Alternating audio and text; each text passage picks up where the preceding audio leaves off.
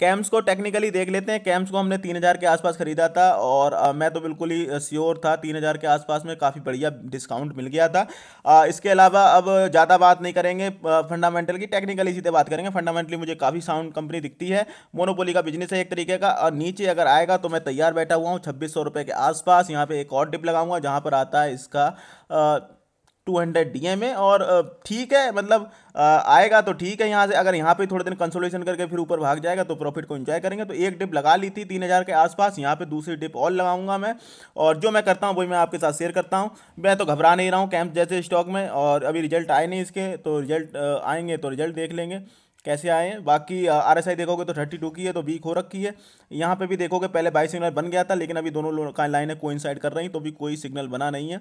जो मेरे व्यू थे टेक्निकली मैंने बता दिया फंडामेंटली काफ़ी साउंड कंपनी है फंडामेंटल ज़्यादा मैं बात कर, कराई नहीं मैंने, और ऊपर कहीं खरीद लिया तो लॉस बुक करने की ज़रूरत नहीं है ऐसी कंपनियों में। तो बाकी आपकी मर्ज़ी, आपका पैसा फाइनेंशियल एडवाइजर पूछ सकते हो, अपना एक व्यू बना सकते हो। सुननी सबकी है, करनी अपनी है। चैनल बनाया तो चैनल सब्सक्राइब कर लेना, वीडियो दोस्तों शेयर कर देना। हिंद दोस्तों।